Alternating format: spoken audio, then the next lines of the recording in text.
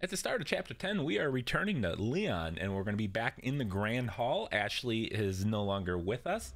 She left a pile of treasure though. We're going to pick it up. Not required for the collectibles or any trophies, but it's value.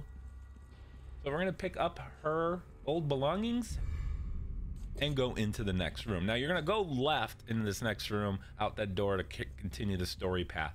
But we're not going to do that. We're going to pick up this merchant request and do a little backtracking first. So this merchant request is going to require us to kill the gold knight. So we're going to make our way through the library and we're going to find our third rat. This is from the merchant request in the last chapter. The third rat wasn't in chapter 9. It's actually in chapter 10 and only chapter 10. Yes. Now all the rats are dead. We've completed that merchant request. You got to, of course, talk to the merchant again and get the reward. Now we're going to kill the Gold Knight and we're going to make our way through the library and go through the old grandfather clock door. You ch uh, change the time on that. And then we're going to head down to the puzzle area where you had to pull those little chains. And it woke up the knights that were in that room. Well, we're going to that same room and there's going to be a gold knight and two of his silver buddies waiting for us. So we're going to try to hit the weak points behind them. And once you take him out, you will complete this merchant request. Make sure to go to the merchant once again to collect your reward. Okay, so now we're going to back track to the library. And we're going to the very back section of the library once again, whereas Ashley, you used the lantern to move these bookcases around and you lowered these stairs. So we're going to go up here and there's going to be the cube box here behind us. So twist this, rotate it, whatever you need to do to get it into the slot, and you will be awarded with an assault rifle.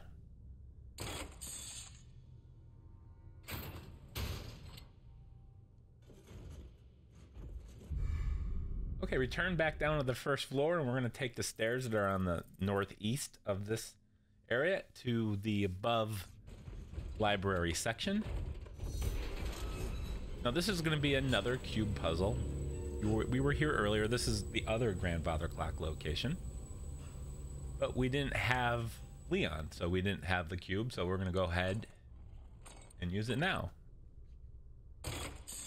So now we're going to go and jump back onto the story path. So from near that grand hall in that first room where we got the merchant request, we're going to take the other door towards the ballroom.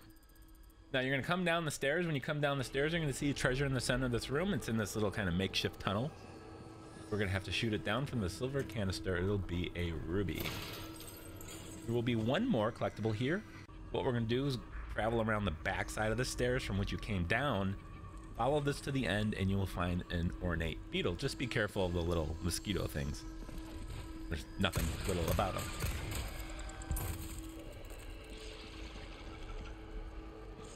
once you've finished the puzzle in that area, you have to pull two levers you're going to be able to reach the depths. Travel all the way through, and as you're coming out, we're going to take this back path to the treasure over here. This is going to be the elegant crown. This is very valuable, and it's going to be something we use for a trophy. You got to sell an item for over a hundred thousand. Well, this is going to get us there. Not by itself though, because it's not worth more than twenty thousand or something. What we're going to do is inlay it with some gemstones. But first, you squeeze through the crack. You want to get the yellow plant here, probably. And we're going to climb up. And we're going to have just a long tunnel. This tunnel is going to lead us to a merchant, which we will use for a trophy in a moment. Continue down this way. About halfway on the left-hand side, you're going to see some electrical equipment. You see a box as well on the left. And you see those two items right up ahead? Look left and up.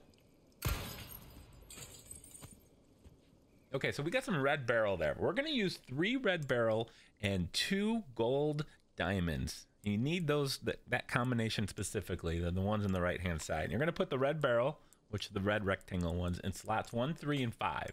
You're going to put the gold diamonds in slot two and four. It's the only places those will fit. Doing that will give you a duo and a trio bonus of times 1.8, giving you a grand total of 108,000 PTAs. That will allow you to earn this trophy, Astute Appraiser. I have something I welcome. Got some rare a thing. I'll buy almost anything. Make sure you do sell that back to the vendor.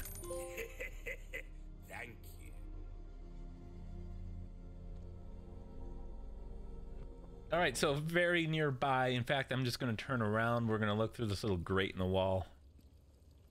And if you look closely enough, you will see our little uh, statue friend. He's just going to be sitting up there waiting for us. I can just get a line on him. There we go.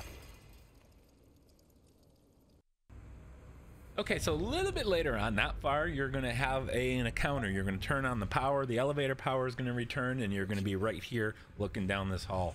Something's going to be chasing you, so keep running and look for a gate on the left-hand side. We're going to go in there. Continue it forward to the end. There's a chest with a yellow diamond in there.